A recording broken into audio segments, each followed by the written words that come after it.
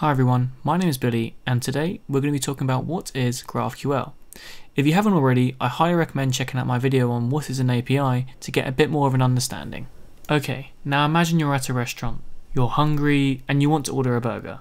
But you don't just want any burger, you want it with extra cheese, no pickles, and a side of fries. You tell the waiter exactly what you want, and voila, you get your burger and chips exactly how you asked for it. A GraphQL API is just like that waiter. It's a messenger that takes your specific request from your application to a backend like a database.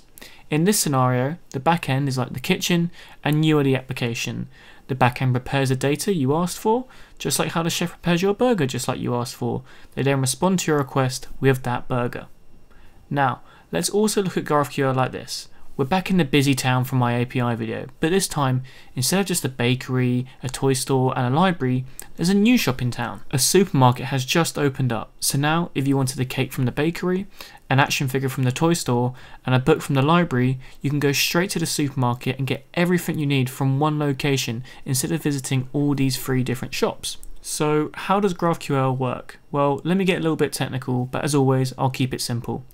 GraphQL is an API just like I discussed in my What is an API video.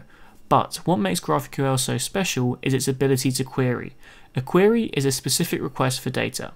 So let's say with a more traditional API like REST, if I was at a restaurant and wanted a cheeseburger, I'll get a cheeseburger how the restaurant serve it with ketchup, mustard, lettuce, onion and pickles. But I don't really like mustard or pickles, so that's why I'd use a GraphQL API as I could query for everything but the mustard and pickles. Another big advantage is being able to stitch together multiple different endpoints. So instead of calling three separate REST APIs three separate times, I can just call one GraphQL endpoint and get everything I need. GraphQL is designed to make APIs fast, flexible, and developer friendly. Again, if you haven't watched my video on what is an API, I'll leave a link in the description, and I hope you learned something new today. Goodbye.